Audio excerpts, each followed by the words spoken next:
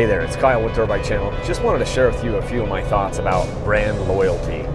In my time here in the industry, I've noticed that there are certain people that are brand loyal almost to a fault. I mean, I'm talking about a guy who might have had might have purchased a, a Honda CRF 450 in 2008 and he just thought it was the best bike ever and he has continued to buy only that bike, only that Honda bike uh, for the last you know 10 years and maybe he's bought two or three of them every you know he's every two or three years he'll buy a new one.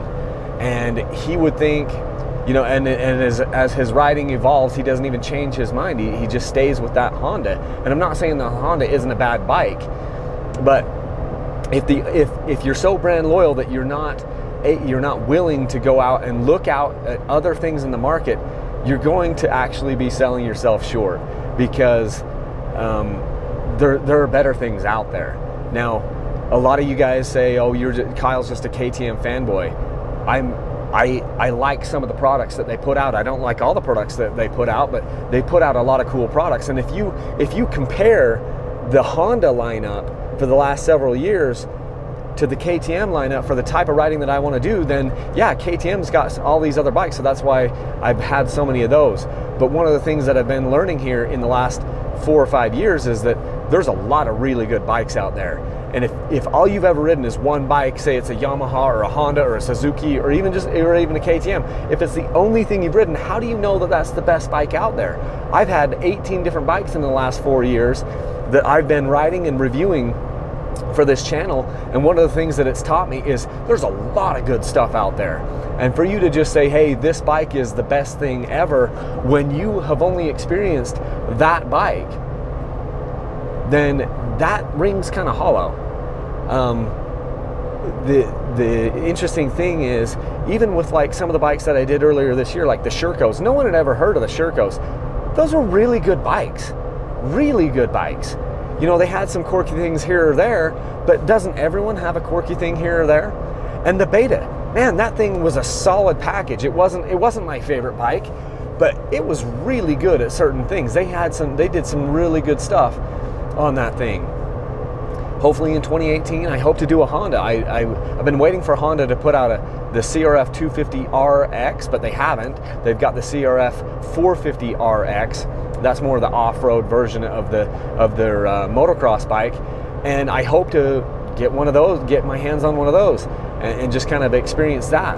I've also got like an older Honda that I'm gonna try to that I'm gonna try to refurbish and uh, and do kind of a do some videos on that. And the point is, you know, I've had I've had Yamaha, I've had uh, Honda in the past here, I've had KTM, um, Beta, uh, the the Shercos, all these different bikes, and I'm learning that man, if you're just brand loyal and and you don't you're not willing to look outside of what you already know, you, you're you're not going to have a very you know, realistic view of what's out there. Here's another secret for you. All the dirt bike manufacturers right now, they make a good bike. Now, it may not be the best fit for you, but but like Suzuki makes a pretty good motocrosser. So does Honda. So does Yamaha. So does so does KTM. All of these manufacturers, they all make a pretty good motocross bike. Not all of them make a real great, you know, off-road racing enduro style bike. Some of them make some good trail bikes like the like the Yamaha WR250 and the WR450. Those are great trail bikes. They're not racing bikes, but they're great trail bikes. I mean, I know some people have raced them. You can do different things to kind of kind of make them more racy, and they can go race those bikes. Those are good bikes. Honda's the CRF 250X, great trail bike. CRF 450X, good trail bike, is really heavy.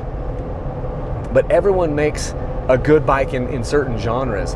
Um, and if you're if you're too brand loyal to look past like oh it has to be a Honda or oh it has to be a Kawasaki, you might be missing out on something really good. I mean, I, I, go back to my buddy Scott, who's had basically every dirt bike out there, but the one dirt bike he didn't have in the last 15 years was a Yamaha. He'd had pretty much everything else. He'd had a Yamaha, he'd had he'd had the the Honda, the Suzuki, KTM, you know, multiple Kawasaki's He'd never done a Yamaha. And then he goes and he rides he rides a couple buddies, including one of mine, the, the Yamaha YZ250X, and he's like, man, that there's something about that thing. Couldn't get it out of his head, and he bought the Yamaha from me, the, the YZ250X. And he is on record saying that that is the best and it, the best dirt bike that he's had. He You're going to go on record to say you this is this is your favorite bike so far? Absolutely. To date, my favorite favorite bike. He he has enjoyed that dirt bike better than any other dirt bike that he's ever had. And the only reason that he was open to the idea is because he wasn't so brand loyal to be like, oh, I'm not going to ride a blue bike. I don't want, and you know, obviously he changed the plastic and made it his own thing. He made it in, into a white bike. He was open to trying something, is what I'm trying to say. And that's what I think a lot of people need to do is just be open to the possibility. What is a good bike now? A good manufacturer on a good roll right now with a certain model? That may not be forever. I mean, 10 years ago, what, 15 years ago, the KTMs were, they were kind of crap. But now, they're really good. And if you think that a KTM is a piece of trash, at least these bigger bikes that I've been riding, uh, you haven't spent a ton of time around them. They're just as good as any other bike and better in many ways. And they offer they offer more choices in the type of genre that I want to do. 300XC, 250XC, 300XCW, 200 250XCW, all these different all these different bikes, 250XCF, 350XCF, 450XCF, all of these models mean that there's something really good in that lineup. Same thing with Husqvarna. There's a bunch of there's a bunch of bikes in the Husqvarna lineup, and and it allows me to pick a bike that I that is going to fit me really well, and that's why I've primarily done those bikes.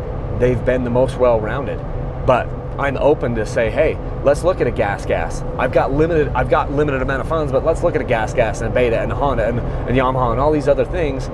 And so I have to say, okay, I've got a limited amount of funds. I've got to try to review some of these other bikes, and man, I have learned. I have learned a ton. You, you live, it's one thing to go out and ride your buddy's bike for 20 minutes. It's an entirely different thing to own that bike for, for three or four months, or five or six months, or a year, or two years. You learn so much more by living with that bike and owning that bike. And that's what I've done. I've been able to kind of open my eyes to the possibilities of all these brands. And I'm not brand loyal. I just want to ride the best bike for me that's that's most suited for my needs, the best fit. And and that's the one that I want to ride and that's going to be different for everyone. For many of you that's going to be a Honda, for many that's going to be a Yamaha, for some of you it's going to be a KTM or a Husqvarna or a Beta or a Gas Gas or a Sherco. And my my sentiment to you is don't be so close-minded that you're not open to looking at other things. End of rant.